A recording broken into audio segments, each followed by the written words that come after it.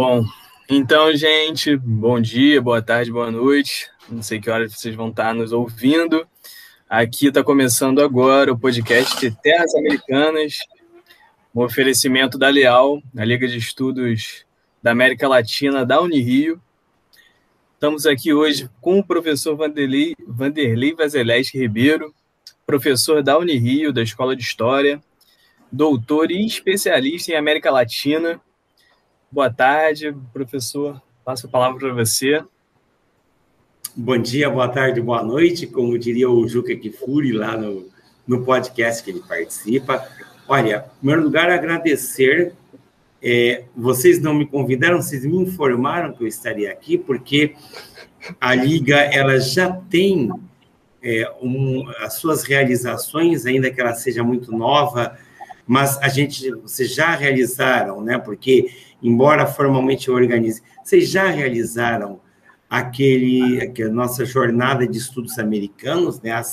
Fizemos a primeira presencial e a segunda foi uma iniciativa de vocês, e é interessante a gente começar a pensar sobre as terras americanas e lembrar principalmente né, que o Brasil faz parte da América, uma coisa que a gente sempre se esquece, né? A gente esquece, a gente pensa que não, que tem um muro assim em cada fronteira do Brasil com os demais países, e eu acho importantíssimo que a gente comece a pensar sobre isso, né? não pensar apenas como uma separação, como é, a gente só lembra da Argentina quando joga na Copa, né? a gente começar a pensar numa visão mais de totalidade, né? de como parte da América Latina.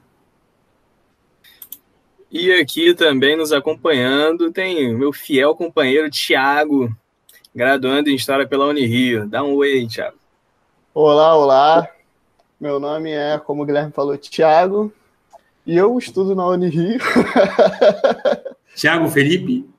Isso.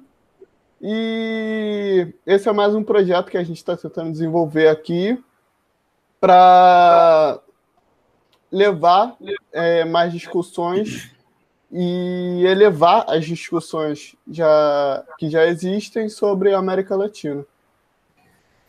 Excelente. Mais, só, um, só uma observação, o mais importante, o Thiago apontou uma coisa bem interessante, elevar as discussões, né? Porque às vezes você vê assim as pessoas falando as coisas mais absurdas e com muita certeza, né? Então aqui a gente tem que começar, estamos aqui para pensar um pouquinho mais, refletir um pouquinho mais, né? É, exatamente. E como disse o Tiago, quem vos fala aqui é o Guilherme, eu sou mestrando em História pela Unirio e serei aqui o locutor de hoje. Já para iniciar os trabalhos, então, já que esse é nosso Isso. primeiro aqui episódio, vou fazer a melhor pergunta de todas, professor Vanderlei. Professor, o que é esse ser? O que é América Latina? Bom, a primeira coisa que a gente tem que lembrar, isso aí qualquer, isso é importante a gente lembrar para qualquer pessoa, né, que esteja nos ouvindo, é que em história os conceitos, né, as, as palavras, elas não são naturais. Elas sempre elas são construídas. O que, que eu quero dizer com isso? É, a expressão América Latina ela foi criada num dado momento. Ela não existiu sempre. Não sempre. Quando, quando os índios estavam aqui, antes da chegada dos europeus, ninguém falaria em América Latina. E quando que ela surge? Ela surge na década de 60, 1860, a partir de intelectuais franceses. E por que que eles falam em América Latina? Que a França, segundo o Império Francês, né, de Napoleão III, governou a França de 1851 a 1870 como imperador, né, ele foi presidente de 48 a 51, depois ele dá um golpe e se torna imperador. Né? E aí ele a França está, nesse momento, num processo de expansão dentro da corrida imperialista da segunda metade do século XIX, ou seja, tentando abarcar territórios, né, controlar territórios na África, na Ásia, e ao pensamento de se estender para a América Latina. E se na África a ideia era levar a civilização europeia às populações negras, né? A ideia de que os negros eram atrasados, né, e tudo mais, e teria que ser levada a civilização. E aí você fazia aquela disputa de quem vai levar a civilização, né? quem pode levar melhor? Será que é a Inglaterra? Será que é a França? A Alemanha não conseguiu muita coisa, não. A Alemanha só teve uma meia dúzia de uns três territórios na África, né? Mas se na África havia isso, se na Ásia a ideia seria levar o cristianismo né? Na América Latina, aí você tem um complicador os objetivos europeus. Aliás, dois. Primeiro que aqui a maioria dos países já eram independentes desde a década de 1920, com exceção de alguns territórios que ou ficaram na mão europeia até pouco tempo ou estão na mão dos europeus até hoje. Guiana Francesa, por exemplo.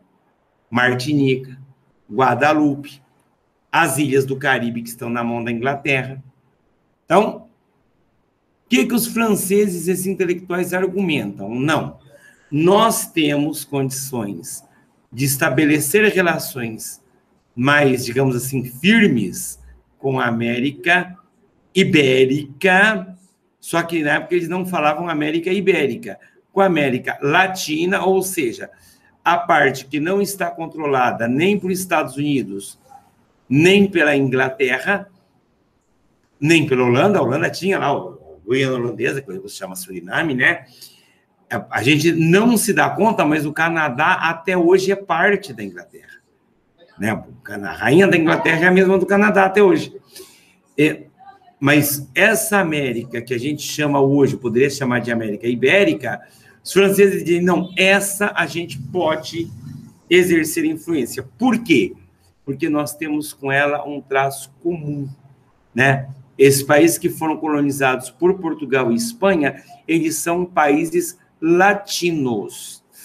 É claro que assim, ninguém faz nada em política internacional porque é gente boa, tá? Por exemplo, 1862, o que, é que os franceses fazem? Aproveitam que o México não estava pagando uma dívida com eles, invadem o México e instalam lá um imperador, o Maximiliano, né, um duque da Áustria, se tornou imperador do México. Aliás, eu queria dar uma recomendação ao público que esteja nos ouvindo. Por favor, não sejam imperadores no México, não é bom. Os dois últimos astecas e os dois que foram imperadores no século XIX foram todos executados. Então, não sejam imperadores do México, não é saudável. Bom, se a expedição francesa ao México é, não foi bem sucedida, como acabei de explicar, o imperador terminou adubando a terra mexicana, né, fazendo parte do solo, mas culturalmente essa projeção francesa deu alguns resultados. Né? Até a Segunda Guerra Mundial, a, digamos assim, a língua culta na América Latina, a língua considerada como a língua culta, como a língua para você saber, e, e, a língua das elites, né, para você falar nos sarais e tudo mais, era a língua francesa. Culturalmente, até porque isso não, não veio do nada. Por exemplo, muitos dos nossos filhos de elite iam estudar na Europa, né? No caso brasileiro, por exemplo, a nossa monarquia tinha muitas conexões com a monarquia francesa, né? Nosso, né, por acaso, que é a família Orleans e Bragança. Então, culturalmente, essa projeção francesa deu bons resultados e o termo América Latina ele ficou sendo bastante utilizado a partir dali para diferenciar exatamente Estados Unidos e Canadá. É até muito interessante que, por exemplo, quando você pega o, o, famoso livro do Eduardo Galeano, As Veias Abertas da América Latina, ele diz assim: olha, mas o subdesenvolvimento não tem nada a ver com a língua que você fala, porque Guiana e as ilhas do Caribe são tão subdesenvolvidas quanto, né, ou sofrem ou sofriam com a dependência econômica. E aí a América Latina passa a ser, para muitos, sinônimo de atraso, sinônimo de subdesenvolvimento, né? para outros pode significar identidade cultural. Você tem vários intelectuais importantes que pensam isso, Darcy Ribeiro pensa isso, mais contemporaneamente o nosso professor Nildo Urix, lá de Santa Catarina, pensa bastante a América Latina como essa ideia de unidade, né? E aí tem muitas vezes uma, uma visão política. Agora, sempre lembrando, isso é um conceito, os conceitos eles são construídos, não é natural. Né? Não quer dizer que porque é, tanto que tem trabalhos que dizem história da América Ibérica. Só que o termo América Latina pegou. Né? O termo ele tem uma. Quando eu falo de América Latina, você sabe que eu não estou falando de Canadá, que eu não estou falando dos Estados Unidos. Eu estou falando de Haiti, sim. É, estou falando. E no fundo, no fundo, no fundo, provavelmente eles não gostam disso, não, mas eu estou falando de Guiana Inglesa, estou falando das Ilhas Falklands, que os argentinos chamam de Malvinas. Então, para definirmos o que é a América Latina, né? É o conjunto de países colonizado por Portugal, Espanha e França e que compartilha, principalmente Portugal e Espanha, compartilham determinados aspectos culturais. É, agora, detalhe, a vingança da história, né, gente?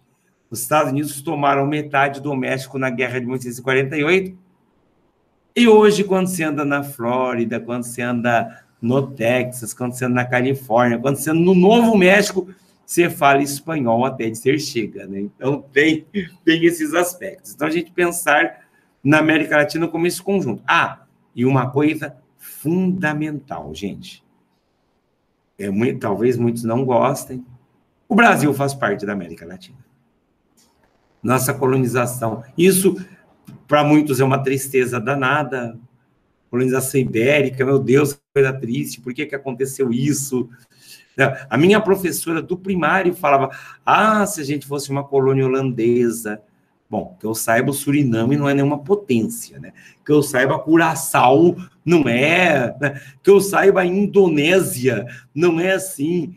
Não está disputando assim os primeiros lugares no, no ranking de, de desenvolvimento humano. Né? Então, a gente tem. Então, o Brasil é parte disso.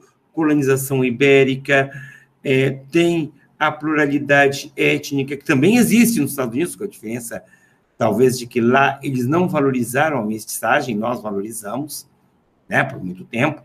Então, eu entendo que é fundamental pensarmos o Brasil como parte da América Latina.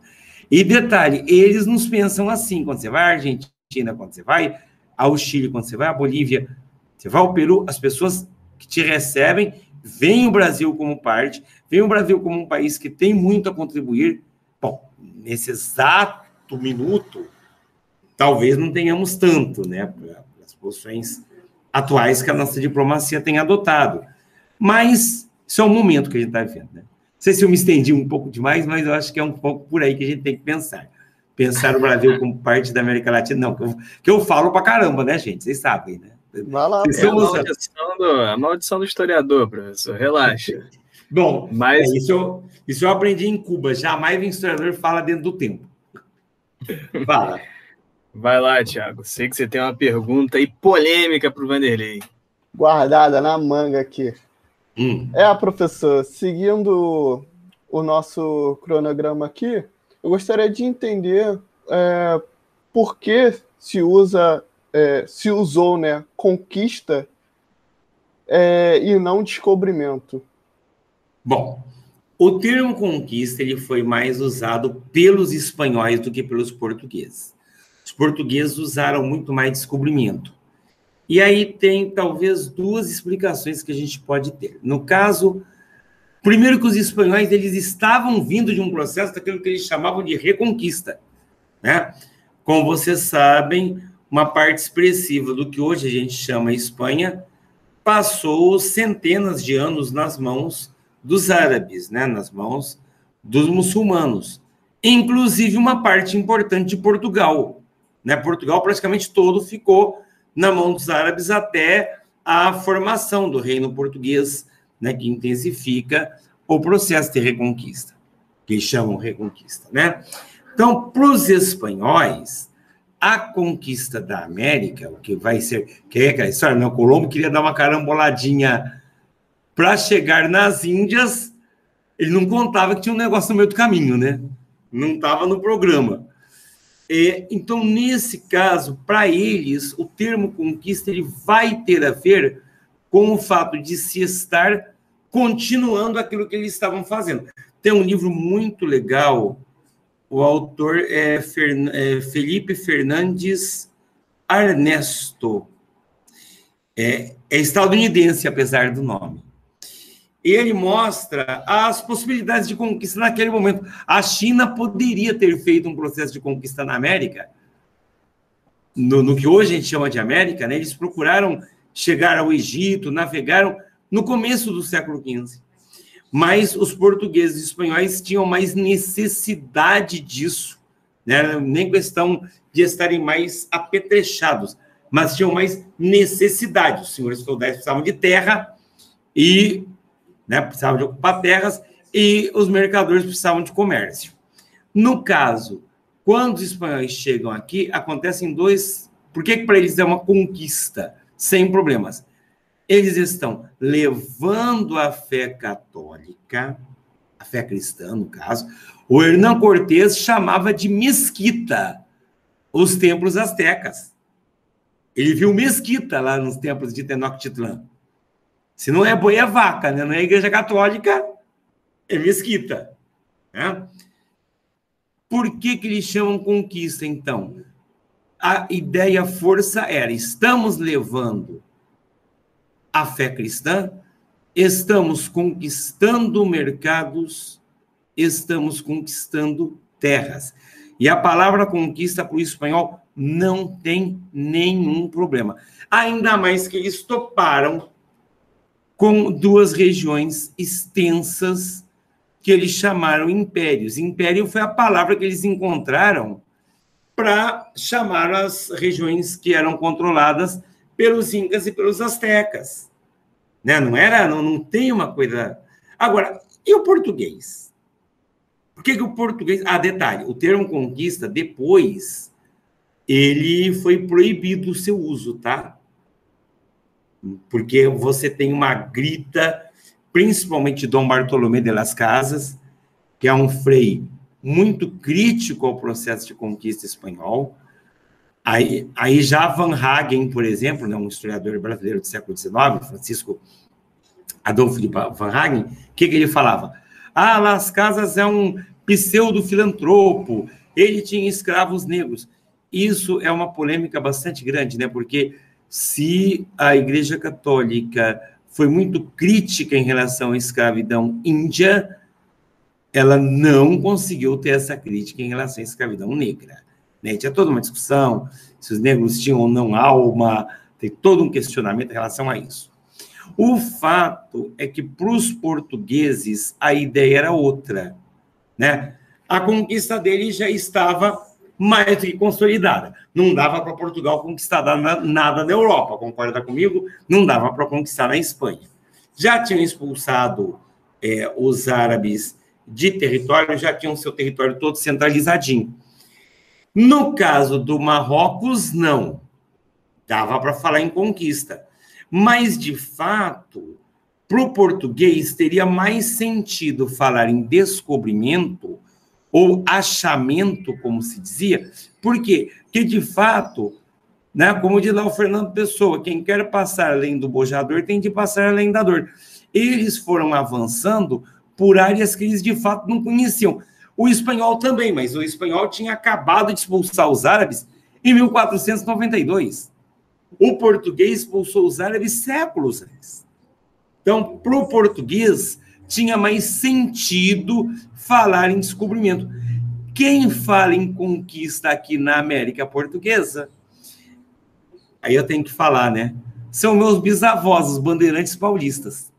Eu nasci em Presidente Prudente, interior de São Paulo. Se alguém tiver a coragem de procurar o hino da cidade de Presidente Prudente, a cidade foi fundada em 1917 o hino de Prudente fala os bandeirantes que aqui chegaram. Né? O, o discurso paulista, criado mais no século XIX para assimilar o processo de bandeirantismo paulista, especialmente, contra as populações indígenas de Minas Gerais, Goiás e Mato Grosso, ele tem esse discurso de conquista. Paulista usa, até hoje, o paulista fala, é, fulano de tal é um bandeirante. Aliás, outro dia, viu, Guilherme? Eu comentando com um colega paulista que eu estava pretendendo dar aulas no Chile, ele disse: beleza, você vai ser o nosso bandeirante, vai ser o nosso desbravador. Vou entrar lá no, nas, nos inóspitos sertões de Santiago do Chile, nas vastas solidões né, da Universidade de Santiago, vou trabalhar. Quer dizer, para a gente perceber, e esse meu amigo é todo de esquerda e tal, até bem mais a minha esquerda, mas essas palavras ficam no vocabulário da gente. Então, para o português, tinha mais a ver falar de descobrimento, né? Porque, claro que se você pega lá a carta do Caminha, ele fala, essa no, vossa nova terra, quer dizer, é conquista. Mas tem todo sentido do mundo Portugal. Agora, detalhe, a palavra descobrimento, para o caso brasileiro, indica o seguinte: eles já tinham muita noção de que tinha terra e gente por aqui. Porque a palavra descobrimento no começo do século XVI, ela tem o sentido de desvelar, tirar o véu que estava cobrindo aquela determinada, aquilo que eu não estava vendo, né? Se eu falo descobrir, não quer dizer que eu, quer dizer que poxa, deu aquela calmaria, aquela lenda, a lenda marítima, né? Tava indo lá para a Índia, deu aquela calmaria, o navio não conseguiu andar mais e ai que monte bonito. Não, não é bem assim. Os caras já tinham muito. Até porque, se não fosse assim, eles não teriam quase que feito uma guerra contra a Espanha para poder estabelecer o Tratado de Tordesilhas. Né? Já havia uma noção do que existia por aqui. Mas para o português, teve mais sentido falar em descobrimento. Para o espanhol, o termo conquista pega melhor. E aí, as consequências disso. 1492, na República Dominicana, né, que foi das primeiras ilhas que o Colombo avistou, Colombo foi julgado e condenado. Não sei, aí como eu perco os amigos, mas não perco a piada, não sei se chegou alguma ordem lá, algum tribunal celestial, mas aqui no Brasil a gente fez toda uma festa no ano 2000 pelos 500 anos. Né? Tinha, tinha o relógio, a Rede Globo mandou instalar relógios nas principais capitais para a gente marcar quanto tempo faltava para os 500 anos do descobrimento. Eu entendo que não é uma coisa para a gente é, louvar no sentido antigo que se fazia, né? Ó, oh, não sei o quê, os vieram, civilizaram, o que, que seria de nós se não fossem os europeus? Mas também a gente não precisa demonizar. Eu acho que teve todo um sentido, né? Quando você lê Veias Abertas do Eduardo Galeano, ele escreveu em 70, né? Você o Veias Abertas, você sente assim, você sente nos anos 60, né? Você sente nos anos 60, é, você sente assim, ouvindo os Beatles, vendo os rapazes com a calça boca de sino, né? Mas aí é que está a importância da gente ter uma análise em história mais ou menos ponderada, mais ou menos equilibrada. É claro, foi um processo de conquista, sim. Não tem conquistador gente boa, não existe. É, Estados Unidos, quando, tomou, quando é, avançaram contra terras indígenas no Oeste, não brincaram em serviço, arrasaram e, de, e depois ainda passaram um século vendendo para nós os filmes de mocinho de Oeste, né?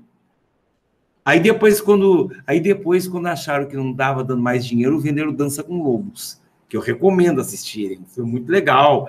Kevin Costner, né? Que é justamente o que é o Dança com Lobos? É um cidadão que sai do meio da Guerra Civil Americana e adere aos índios Sioux para resistir. Primeiro, ele participa de uma guerra entre etnias indígenas, né? E aí ele fala: ah, essa guerra bacana, aqui não está uma, uma luta por território, uma luta por recursos naturais, essa guerra, que, essa que é a guerra que eu quero participar. E depois ele participa da resistência às ações de conquista do, do Oeste é, pelos Sioux. Então, é a gente pensar isso com um certo equilíbrio. Agora, Usar o termo conquista, sim. Usar o termo conquista, mesmo para o caso brasileiro, nós podemos usar o termo conquista sem o menor problema. É, as populações.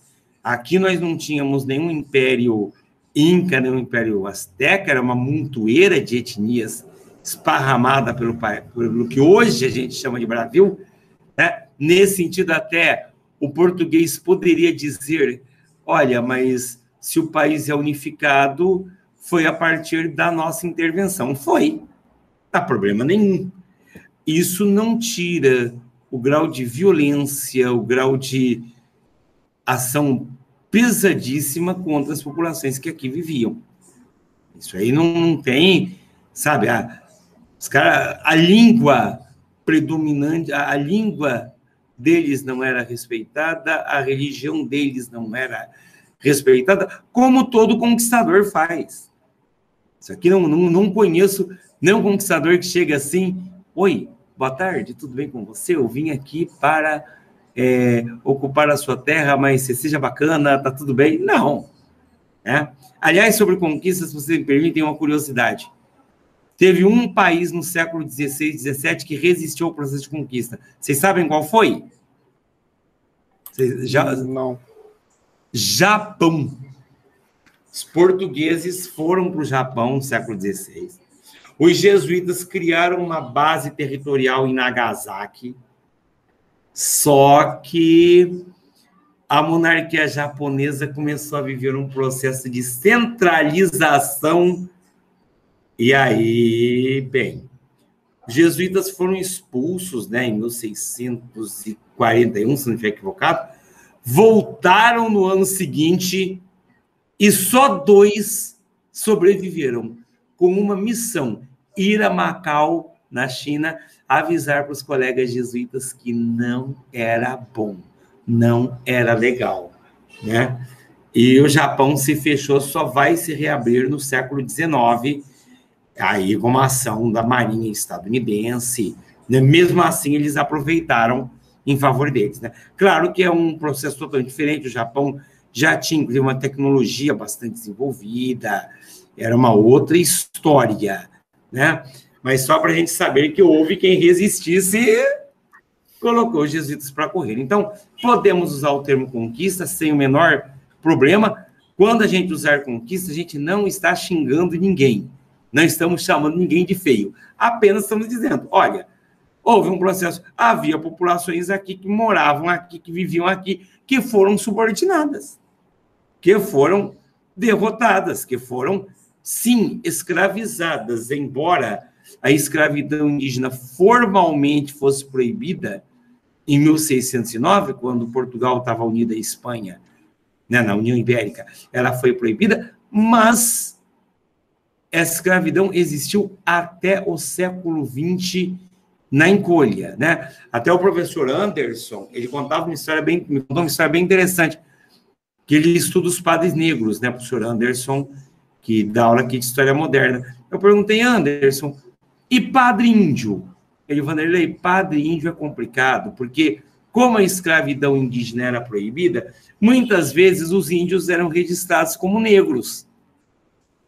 Ou seja, gente, é, né, os índios eram registrados como negros, que a escravidão negra estava permitida. Então, você tem essas questões, né?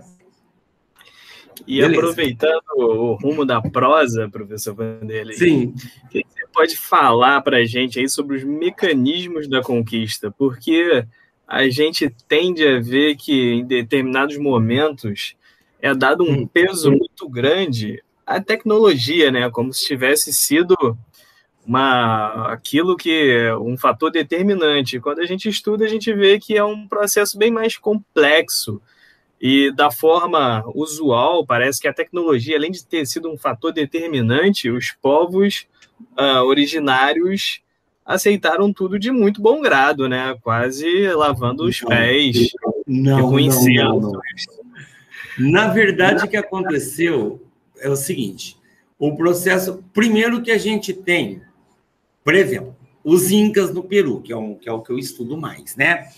Tem um livro muito legal é, de uma autora chamada Marina Suluaga Mendonça. É, Chama-se A Conquista Negociada. É um baita livro. Esse danado desse livro, o que, que ela mostra? Os incas foram chamados pelos espanhóis de império. E, e não sem razão. Por quê?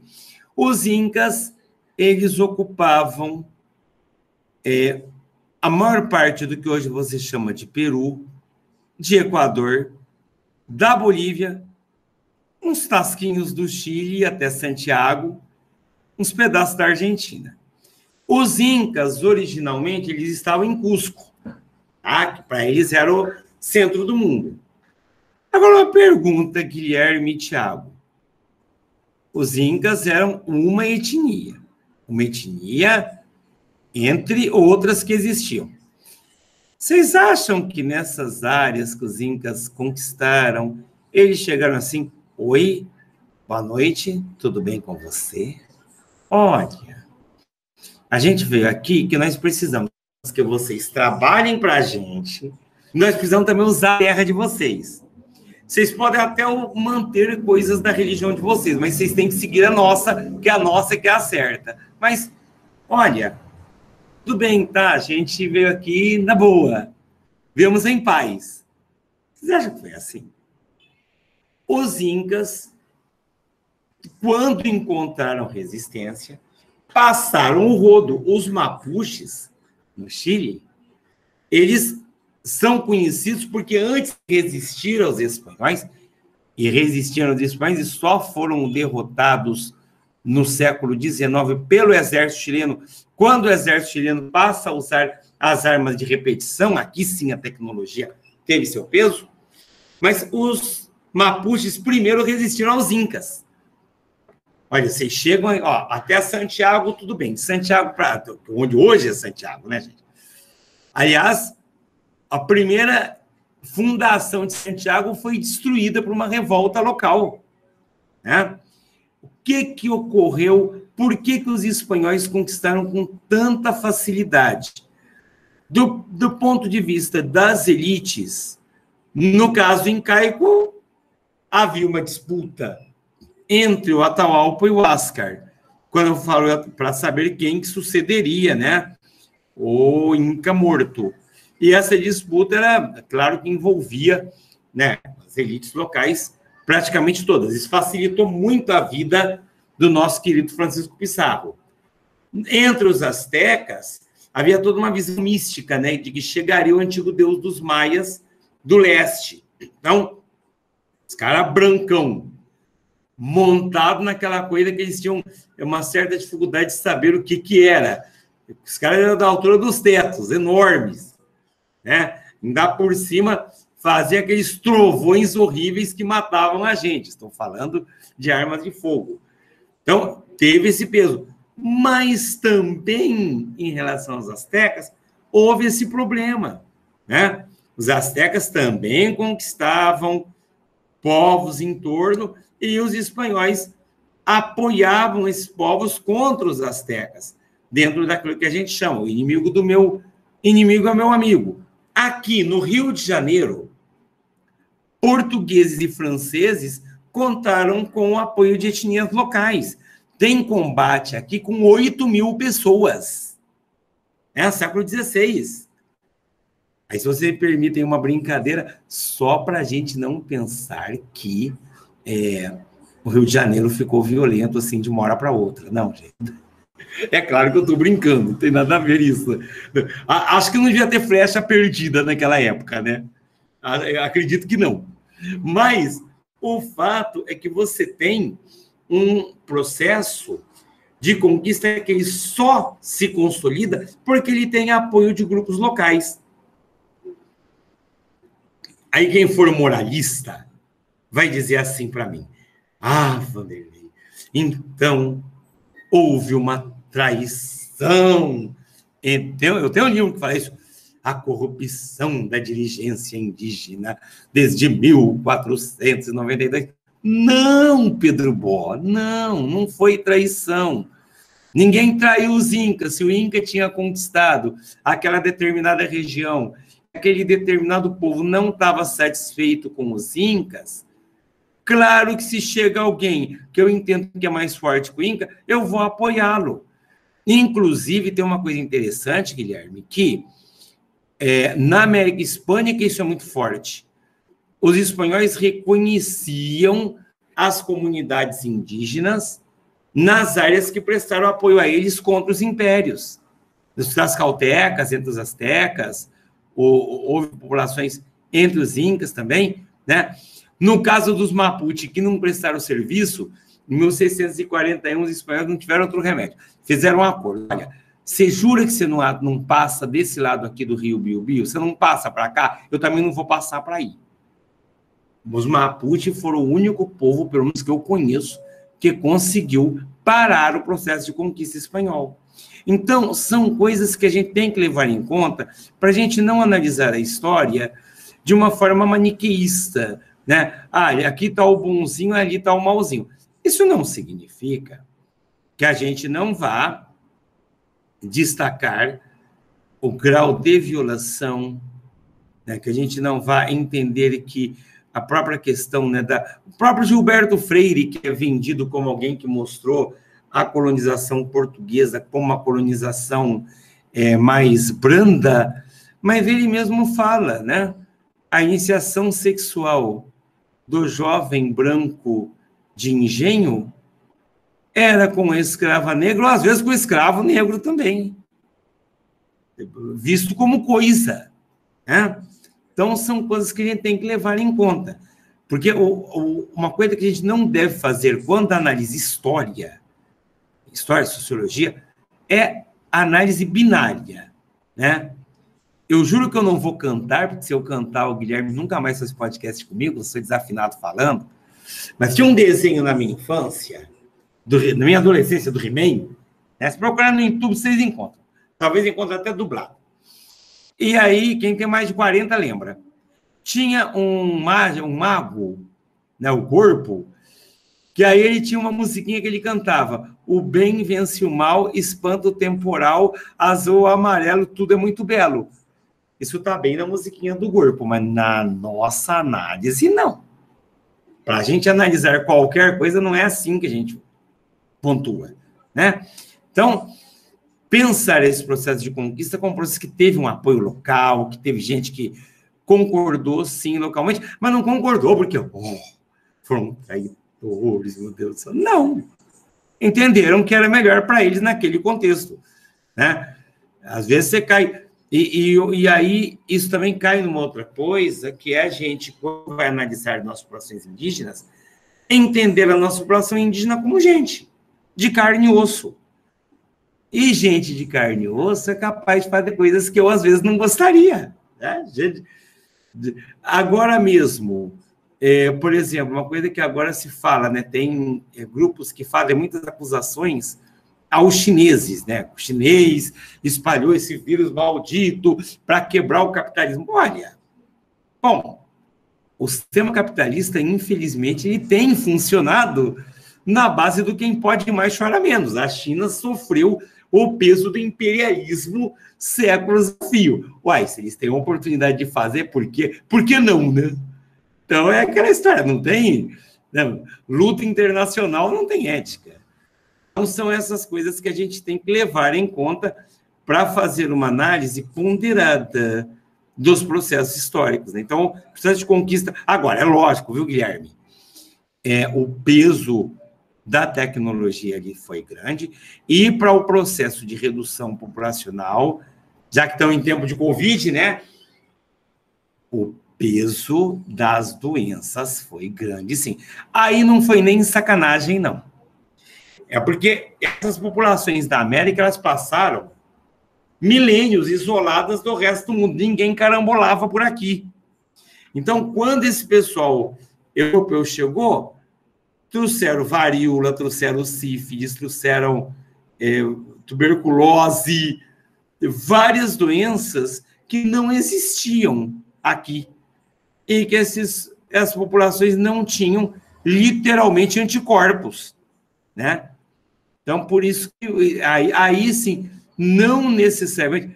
É claro que houve situações, por exemplo, Palmares, né, o quilômetro Palmares dá registro de que se colocou roupa com tifo para dentro do quilombo para poder é, contaminar as populações e torná-las mais fracas, né, para a guerra.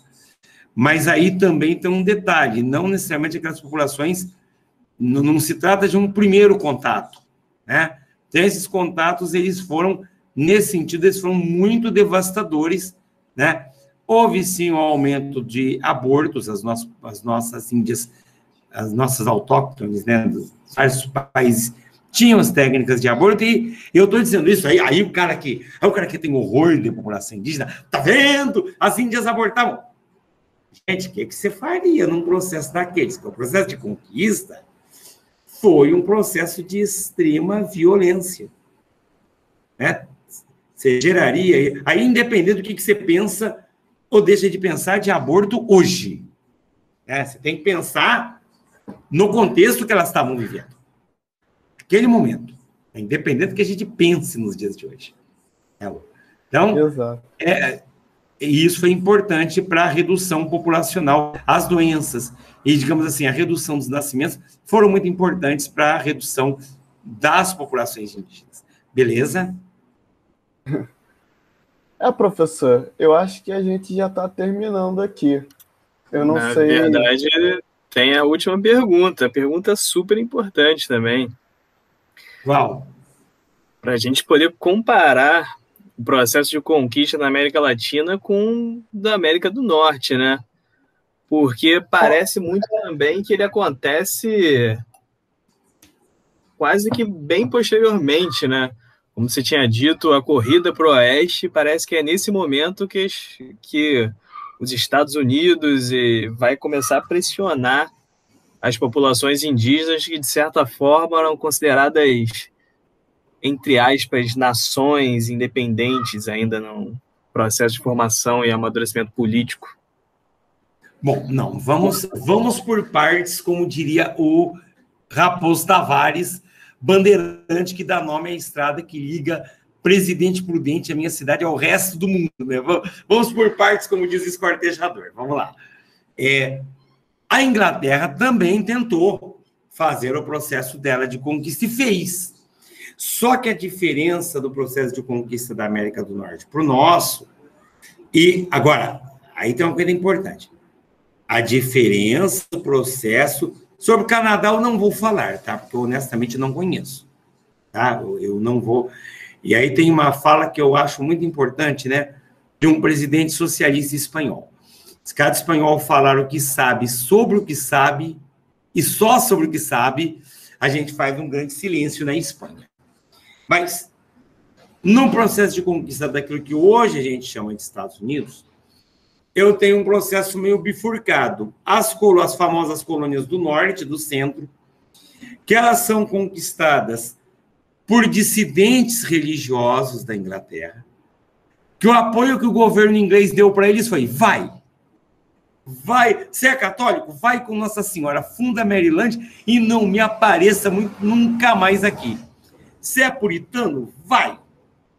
E aí você tem uma convivência com as populações indígenas um pouco mais pacífica, porque eles precisavam dessas populações indígenas.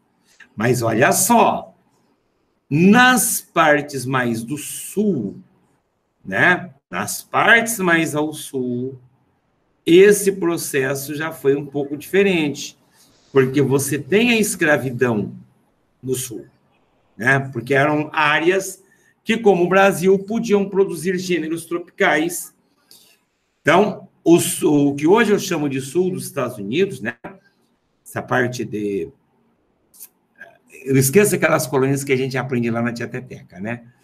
Mas você, essa parte do sul, não, eu não estou falando do sul da Louisiana, da Flórida, que isso tudo é conquista depois do século XIX. Eu falo daquela área anterior, é, ela já tem com a Inglaterra uma relação de dependência mais estreita em relação a que tinha o norte e o centro. Uma diferença muito importante também é que a Inglaterra, em relação ao norte, às colônias americanas, ela mantinha o que eles chamavam de salutar negligência, ou seja, deixa eles lá. Não vamos cobrar imposto, não vamos, sabe? Ah, ó, eles estão fazendo comércio triangular, eles compram escravos na África, vendem em troca de açúcar para o Caribe, né? Pegam açúcar, trazem lá para o sul, sul e vendem para a Inglaterra. Ah, deixa de lá. Só que aí tem o problema da Guerra dos Sete Anos, que envolve a Europa inteira, né? 1756 a 63, também se dá aqui na América. Ex-colonos, com apoio de populações indígenas, tomam uma caçambola de territórios da França e da Espanha. E como diz uma música brega que eu gostava muito, é isso que a gente ganha quando entrega o coração, né? Os ingleses resolveram cobrar todos os impostos do mundo. Deu independência, né? Então, esse agora o processo espanhol é totalmente diferente. Por quê? Os espanhóis encontraram tudo que eles queriam logo no começo: ouro, prata, outros metais, área para produção de gêneros tropicais um pouco mais tarde. Então, daí aquela extinção que hoje é mais contestada entre colônias de exploração e colônias de povoamento. Primeiro que é uma bobagem falar na América do Norte como colônia de povoamento, porque vocês concordam comigo que já tinham populações indígenas lá, né? Então, tem esse detalhe. Segundo, que no caso da América Hispânica, então, o domínio da metrópole foi muito mais rigoroso, né? Os, agora, detalhe, os colonos do norte e do centro têm uma outra diferença. Eles não se mesclavam. Tanto que, daí que nos Estados Unidos você tem até hoje o princípio de uma gota de sangue, né? O cidadão tem uma gota de sangue negro, é considerado negro. Né? Você tem até hoje esse princípio. Isso justificou não voto, todas as exclusões que houve depois da Guerra Civil. Processo de conquista do Oeste, ele se dá já com os Estados Unidos independentes. Né? Aí é que você tem, porque eles passam a tentar se expandir, por quê? Principalmente para expandir a escravidão. Não é tanto o norte que faz a expansão para o oeste, é o sul. Por que, que eles fazem a expansão da escravidão? Para poder produzir algodão para atender as fábricas inglesas. Daí que eles avançam contra populações indígenas, né, que eram consideradas nações, com 32 aspas, quer dizer, não são nações como a gente entende hoje, né, mas tinham lá o seu espaço, tinham a sua autonomia. Então, de fato, esse processo ele só vai se dar no século XIX, ao passo que, no caso da Espanha, ele se dá. E uma outra coisa importante: o inglês que vai para a América do Norte, ele vai com família. Ele vai sabendo que não é para voltar para casa. Já o espanhol, o português, ele tinha pelo menos o sonho de voltar. A maioria não voltou pitomba nenhuma. Mas sonhar não custava nada, né? Vou, vou para o Brasil, vou para o Brasil ficar rico. Nas minas de ouro. Teve um momento em Portugal que eles proibiram, olha, não imigra ninguém para o Brasil, porque vai ficar despovoado. Aliás, só para fechar, eu brinco com o professor Gonçalo, né? Que hoje em dia tem muito brasileiro em Portugal, eu brinco ele. Gonçalo, nós vamos colonizar Portugal. Gonçalo, já colonizam, Vanderlei. Então, são essas as diferenças, né? Muito assim, a grosso modo. O colono inglês que vai para a América do Norte, ele pode continuar se sentindo inglês, ele se declara inglês na América, mas ele vai sabendo que é para ficar. Então, ele já tem uma certa autonomia face à metrópole, né? E convive com as populações indígenas num primeiro momento. Depois, é claro, quando o pau cantava, farinha pouca, pirão do colonizador primeiro, é lógico, né? Mas isso a mais a médio prazo. No caso aqui, não. Né? Assim como no nosso caso, quando o bandeirante paulista foi, os bandeirantes foram nossos primeiros. É um paulista mais fanático, fica brabo comigo. Os bandeirantes foram nossos primeiros sequestradores que o Brasil tinha.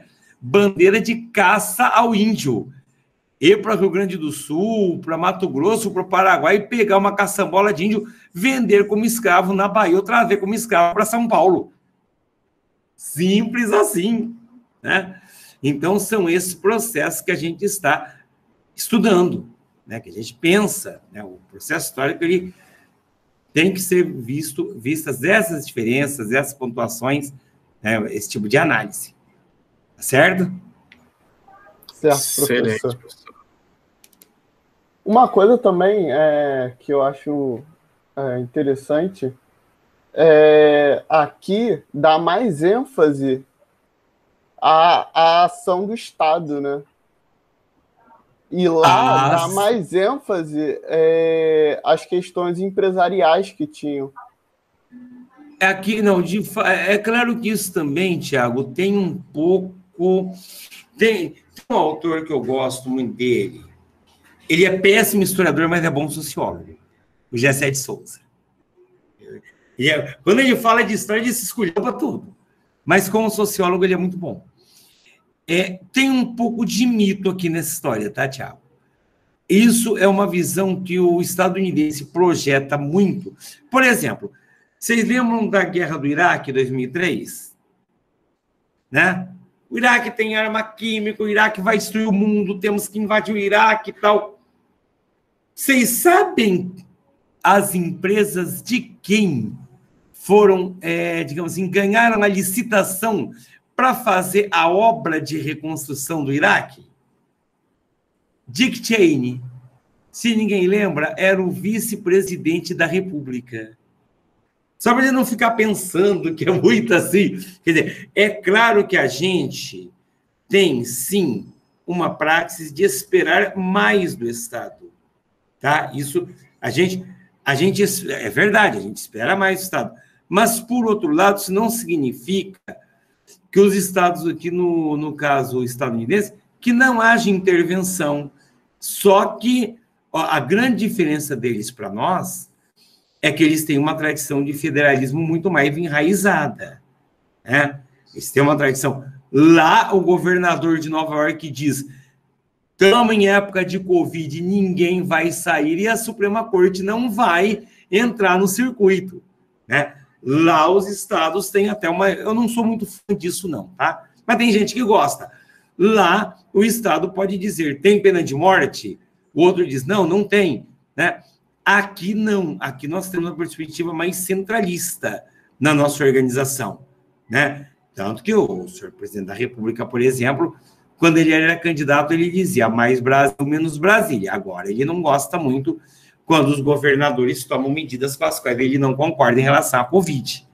Então, você tem aqui uma perspectiva muito mais centralista, construída em Portugal, mas reafirmada no Império e mais reafirmada ainda sob Getúlio Vargas. Tá? Aqui, o Chile também é assim. Na Argentina se diz Deus está em toda parte, mas ele te atende em Buenos Aires. Então você tem essa situação, é, não tanto. Tem, tem um pouco de mito essa ideia de que nos Estados Unidos necessariamente a iniciativa privada faz tudo e não depende. Claro, eles têm.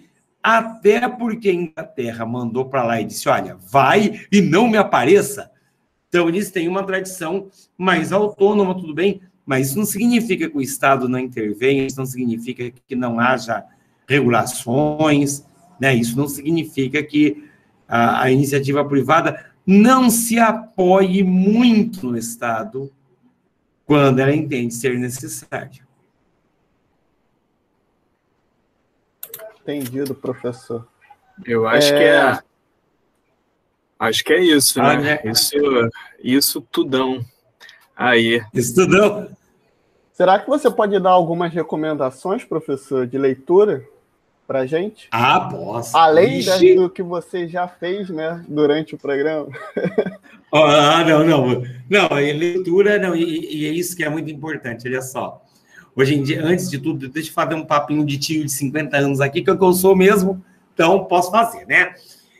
Olha só, quem ouvir esse podcast, lembre-se, por favor, História a gente não faz sem leitura. Só que o que eu fiz é uma bola. Isso aqui que eu fiz é um apanhado muito geral a partir das perguntas de vocês. Então, tem que ler para poder fazer as coisas é, fluírem. Então, Conquista da América, diz Vetan Todorov, é bastante importante. Se você quer comparar é, as sociedades da América do Norte com as nossas, pode ler O Espelho de Próspero, de Richard Morse, né? Um livro que é muito é, uma eu citei outra tem um tem um outro que é, você tem por exemplo é a civilização asteca de Jacques Sostel, tá? A civilização inca de Henri Favre, para a gente entender que existia a América antes do processo de conquista, pelo amor de Deus. A civilização maia de Jean Paul Drop, tá? Para a gente saber que existiam populações aqui antes da aí sim da conquista europeia, né? Então você pensar isso para o caso brasileiro, sempre aquela trindade do mal, né? Aquela gente, aliás, aquele quarteto maligno. Gilberto Freire, Casa Grande Senzala, sempre, né? É, Sérgio Buarque, Raiz do Brasil. O Raimundo Fauro, Os Donos do Poder. E meu guia espiritual, Caio Prado Júnior, que está aqui presente nesse momento. Formação do Brasil Contemporâneo. Esses quatro são clássicos, mas eles nos ajudam muito a pensar, claro, é, todo livro de história ele é datado. Né? Às vezes você fala, ah, o livro de fulano é datado. Claro, você escreve no seu tempo, né? Mas é, são reflexões que elas continuam válidas. Os livros escritos na década de 30, 40, o Faura 58, são livros extremamente válidos. E também para a gente pensar um pouquinho é, o processo de conquista em relação a questões indígenas, que é tão desprezado, eu recomendo, super recomendo, Negros da Terra, de John Manuel Monteiro. É um estadunidense de origem portuguesa que estudou os índios brasileiros. Infelizmente, ele fez a safadeza de morrer muito jovem, que a gente precisava dele. Ah, e antes que eu vá embora, o trato dos viventes do Luiz Felipe de Alencastro é sobre a formação da escravidão e do tráfico escravo, que ele mostra como a América Portuguesa estava muito mais relacionada com Angola, com Moçambique, do que propriamente com a Europa, e como esse tráfico, viu, Tiago, respondendo um pouco a sua pergunta, e, e completando a outra face do mito, o nosso traficante de escravo aqui do Rio de Salvador, de Recife, ele não perguntava para o português se ele queria ou não fazer tráfico, não, ele ia por conta dele mesmo. Você ia direto em Angola.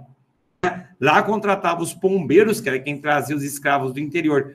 É um baita livro. É livro para você ter em casa, é livro de consulta. Tá bom? Então, é isso que me vem à mente nesse momento. É... Só clássico. para você ver, né? E você lê tudo e você vai ficar sabendo só o básico. Não, e, e, daqui a 50 anos vai ter coisa nova. A beleza da história é essa.